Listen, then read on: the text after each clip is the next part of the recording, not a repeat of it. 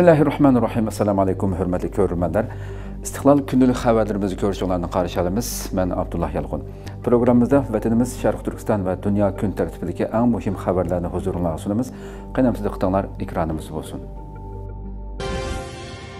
Xitay sancığı yeni bir aerodrom selişini planladı.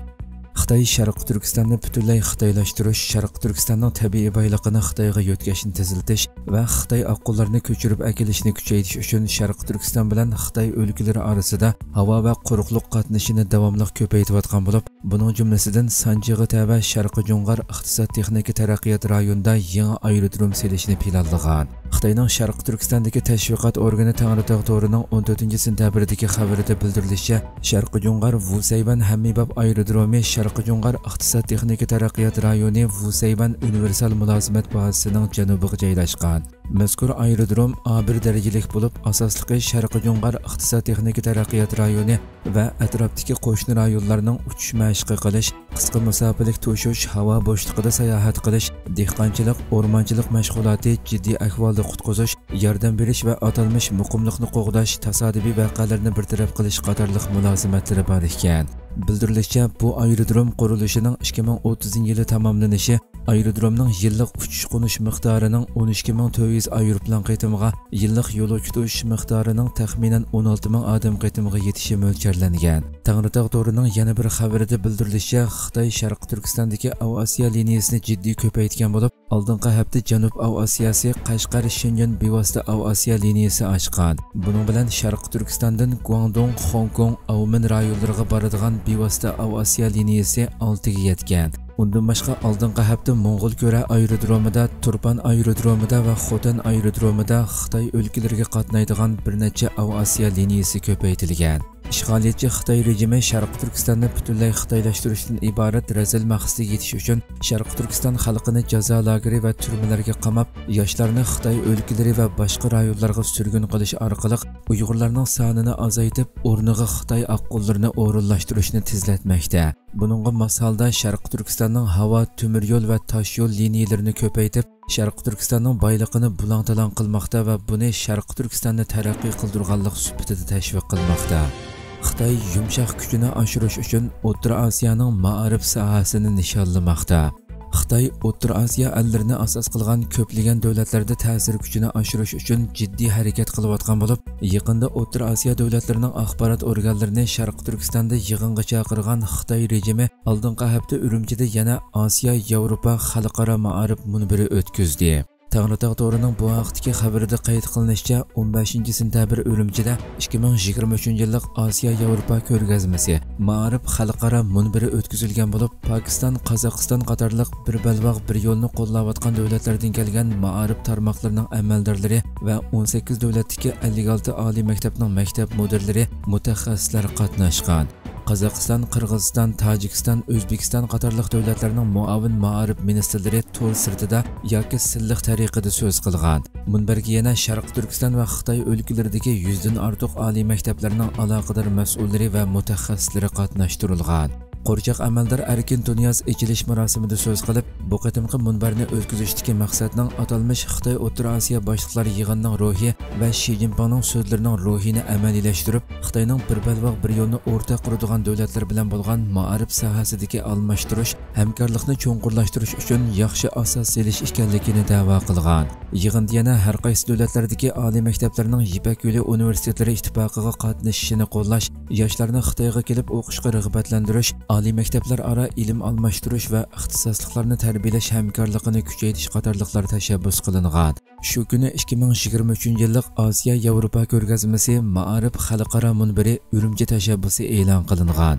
Bu yil may oyida xitoyning shian shahrida o'tkazilgan xitoy o'rta osiyo boshliqlari yig'inidan keyin xitoy bilan o'rta osiyo davlatlari orasida zo'r miqdorliq iqtisodiy kelishim imzolangan edi.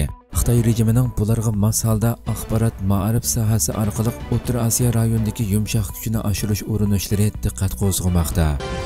Amerika davlat bexatarlik maslahatchisi vang yi bilan ko'rishdi.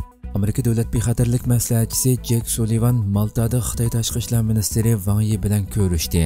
Amerika ovozining xabarida bildirilishicha amerika davlat bexatarlik maslahatchisi jek sullivan 16 sentabrdan 17 sentabrgacha maltada o'tkazilgan yig'inda xitoy kompartiyasi markaziy komiteti siyosiy idorasining a'zosi tashqi ishlar komiteti ishxonasining mudiri va tashqi ishlar ministri vang yi bilan suhbatlashgan.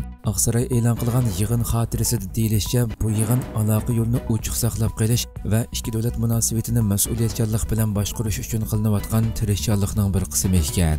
Yig'in xotirasida ikki taraf 2022 yili noyabrda indoneziyaning bali orolidagi prezident bayden bilan shi zinpin uchrashishiga asosan samimiy masalalarni mohiyatlik va ijobiy muzokara qildi deyilgan uchrashuvda yana ikki tarafning bu strategik aloqa yo'lini saqlab qolish va kelgusi bir necha oy ichida amerika bilan xitoy o'rtasidagi muhim sohalarda texim yuqori qatlamli aloqa o'rnatish va kengayishga va'da bergan. Bildirilishicha jek sullivan bilan vang yining ko'rishishi amerika prezidenti jo bayden bilan shi zinpinning bu yilning oxiridagi uchrashishiga sahna hozirlab beralaydigan yuqori qatlamli muzokaralarning eng yangisi ekan. Xitoy tashqi ishlar ministrligining aytishicha ikki taraf yuqori darajalik almashtirishni saqlab osiyo tinch okean ishlari dengiz ishlari va tashqi siyosat to'g'risida aloqador masalalarni ikki tarafli kengash qilgan. Amerika tarafining oshkorlashicha sullivan tayvan bo'g'ozining tinchligi va muqimligining muhimligini tilga olgan. Van yi bo'lsa tayvan masalasining xitoy amerika munosabatidagi otlab o'tishga bo'lmaydigan qizil siziq ekanligini da'vo qilgan. Turk davlatchilik tarixiy qurultiyi oxirlashdi. Qirg'izistonda o'tkazilgan va turkiya jumhuriyatining 100 yilligiga beg'ishlangan birinchi navbatlik turk davlatchilik tarixiy qurultiyi oxirlashdi. Turkiya ovoz radiosi xabarida qayd qilinishicha turk davlatlari tashkiloti doirasidagi turk akademiyasi bilan otaturk kultur til va tarix oliy idorasi qaramog'idagi Türk Tarix Cəmiyyətinin təşkilləşi Qırğızistan Maarif və İlim-fən Ministerliyinin qolluşu bilan Issiqgöl rayonuğa yerləşən Çolpan Ata şəhərində ötküzülgən məzkur qurultay 14-cü sentyabrdan 16-cı sentyabrgacha davomlashgan bo'lib, qabul qilingan xulosa dokumenti bilan oxirlashdi. Qurultayda Türk dövlətçilik tarixi qurultayını hər il ötküzüş, monografiya ilmi tədqiqatını tərəqqi qıldırış, ilmi mündəricələrini elan qilish, alahidi körgəzmə uyuşturuş və özara təsir gücü yuqur münbərlərini qurub çıxış üçün o'rtaxtirish qaror qilingan. Qurultayda tarixiy ipak yo'li liniyasiga joylashgan xalqlar o'rtasidagi tarixiy iqtisodiy madaniy va ma'naviy rishtalarning tadqiq qilinishini nishon qilganligi shundaqli konkret va konkret bo'lmagan madaniy yodikorliklarni atrofliq tekshirishning zarurligi ta'kidlangan. Qurultayda turk davlatlarining tarixiga aloqador tadqiqotlarni kuchaytirish chuqurlashtirish va bu sohada ilmiy hamkorlikni taraqqiy qildirish maqsadida alohida bir ilmiy munbar qurish taklifi o'tirg'a qo'yilgan. Hamda aloqador organlarga xalqaroliq ilmiy tadqiqotlarni asos qilgan turk ansiklopediyalik turk davlatchilik tarixiy atlasi qomusi tayyorlash tavsiya qilingan. Qurultayda ma'qullangan xulosa doklati turk dunyosining kelgusi va birligiga to'kpi qo'shishni nishon qilmoqda.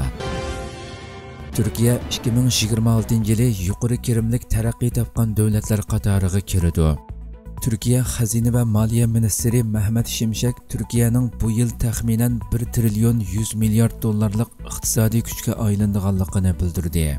Turkiya ovozi radiosi xabarida bildirilishicha xazina va moliya ministri mahmad shimshak turkiyaning bu yil taxminan 1 trillion 100 milliard dollarlik iqtisodiy kuchga aylanadiganligini bildirib turkiya 2026 yilida dunyo bankisining tarifi bo'yicha kirimi yuqori taraqqiy topgan davlatlar qatoriga kirdi dedi.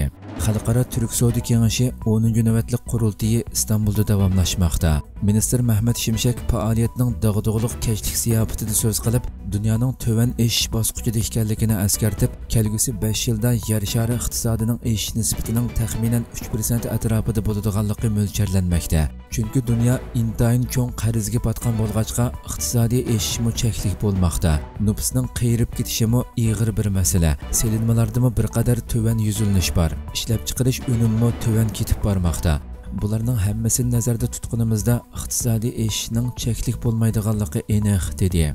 Mehmet Şimşek texmi muhimi dunyoda intayin ig'ir geopolitikalik yimirlish mavjudligini bildirib, ya'ni dunyo yaqinqi yillardan buyon yuz bergan cho'ng to'qinishlar sababidan qo'g'dinish xarakterlik bir siyosatni yo'lini davomlashtiradigandak qiladi dedi.